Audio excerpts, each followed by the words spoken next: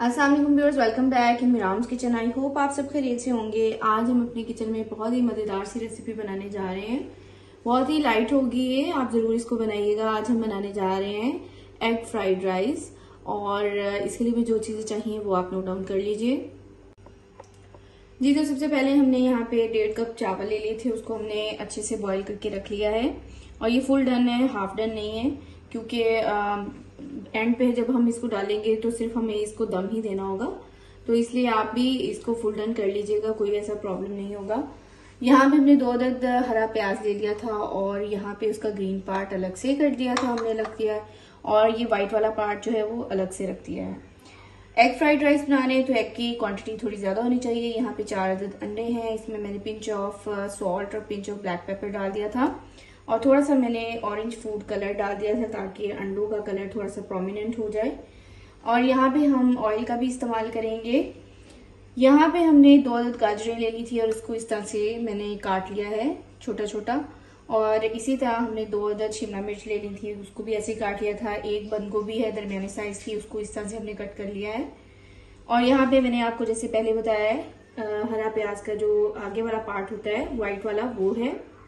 उसको इस तरह से स्लाइसेस में कट कर लिया है। यहाँ पे हमने सॉसेज में ले ली हैं वन टेबल स्पून हमने सोया सॉस लिया है वन टेबल स्पून विनेगर लिया है टू टेबल स्पून हमने चिली सॉस लिया है वन टेबल स्पून हमने डार्क सोया सॉस लिया है। यहाँ पे हमने हाफ़ टी स्पून के करीब लहसुन का पेस्ट ले लिया है। अगर आप लहसुन का पेस्ट नहीं लेना चाहते तो लहसुन पाउडर का भी इस्तेमाल कर सकते हैं। यहाँ पे हमने वन टेबल स्पून भर के ले लिया chicken powder one tablespoon हमने ले लिया काली मिर्च पाउडर और क्वार्टर टेबल स्पून हमने नमक का ले लिया है। तो चलिए बनाना शुरू करते हैं। सबसे पहले हम एग को फ्राई करेंगे।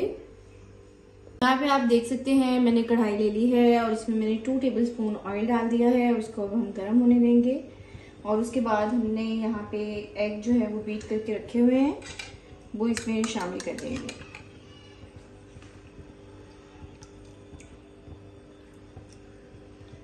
आपने स्क्रैम्बल्ड एग बनाने हैं। जी तो अब हम इसको इस तरह से स्क्रैम्बल कर देंगे। आप देख सकते हैं, तकरीबन तीन से चार मिनट में आपके जो स्क्रैम्बल एग हैं वो बिल्कुल रेडी हो जाएँगे। और अब हम इनको अलग से एक प्लेट पे निकाल लेंगे। और इस दौरान आप चूल्हे की आँच है वो बिल्कुल स्लो कर दें। ये देखिए, इस तरह से हम अलग से इसको निकाल लेंगे।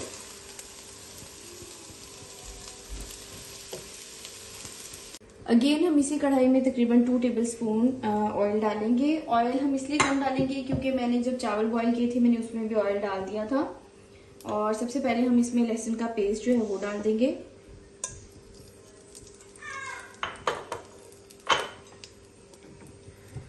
फ्लेम हाई कर लेंगे और इसको अच्छे से भुनेंगे।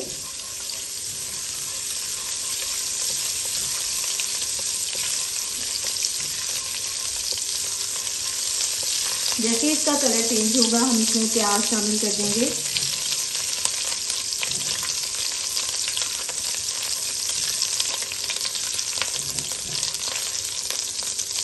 जी तो अब हम हरे प्याज का जो आगे वाला हिस्सा होता है वाइट वाला, वो शामिल कर देंगे। और इसको आपने हल्का सा सॉफ्ट करना है, इसका कलर चेंज नहीं करना है। अगर आप कलर चेंज कर देंगे तो फिर चावलों का भी कलर चेंज हो जाएगा। सिर्फ़ आपने इसको फ्राई करना है और इसको हल्का सा सॉफ्ट होने देना है। तो आप देख सकते हैं, प्याज जो है सॉफ्ट हो गए हैं। अब सबसे पहले हम गाजरों को इसमें डाल देंगे, क्योंकि गाजरें थोड़ा सा टाइम लेती हैं सॉफ्ट होने में।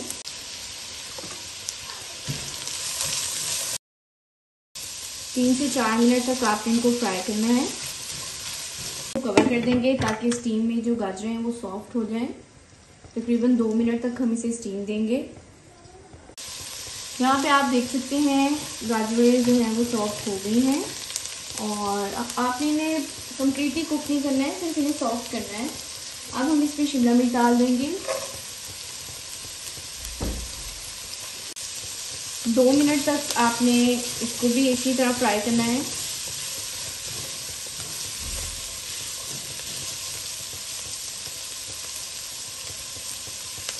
और अब हम इसमें शामिल कर देंगे बंद गोभी।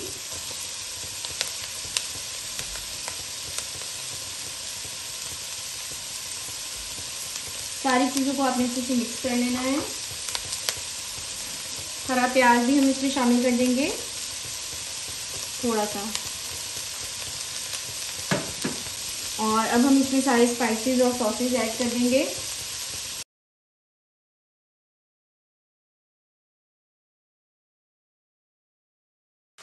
राइस शामिल करने के बाद आपने इसको अच्छा सा मिक्स करना है। यहाँ पे आप देख सकते हैं राइस को हमने अच्छे से मिक्स कर लिया है सब्जियों के साथ। और इस स्टेज पे आप चाहें तो नमक वगैरह चेक कर सकते हैं। और अब हम इसमें शामिल कर रहे हैं ये एग जो कि हमने पहले से स्क्रैम्बल करके रखे हुए थे। और अब हम इसमें शामिल कर देंगे हरा प्याज, इस तरह से।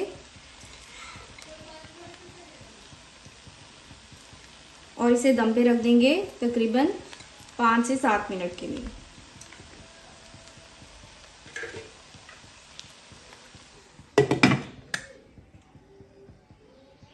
यहाँ पे आप देख सकते हैं, बहुत ही मज़ेदार से हमारे एग फ्राइड राइस जो है वो बिल्कुल रेडी हो गए हैं। इसके ऊपर मैंने हल्का सा वो स्प्रिंकल कर दिया था ताकि खूबसूरत लगे। आई होप आज की रेसिपी आपको बहुत अच्छी लगेगी। बहुत ही सिंपल सी रेसिपी है और अगर आपको ये रेसिपी अच्छी लगे तो इसे लाइक और शेयर ज़रूर कर दीजिएगा और अगर आप मेरे चैनल पर नए हैं तो इसे सब्सक्राइब करना मत भूलिएगा। बेल आइकन को ज़रूर प्रेस कर दीजिएगा ताकि मेरी आने वाली हर नई रेसिपी आपको बर वक्त मिलती रहे। थैंक यू फॉर वॉचिंग अल्लाह हाफिज़।